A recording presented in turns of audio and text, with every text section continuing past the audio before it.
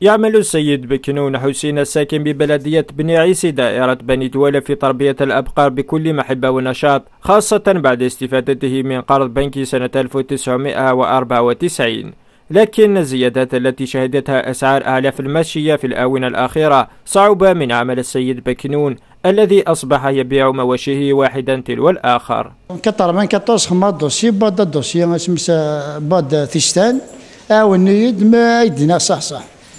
أونا قد داوني يوارني يواري ميح مليح يا القزلة يواري ميح. كلشي بضيقني كلشي غلاي كلشي ناس.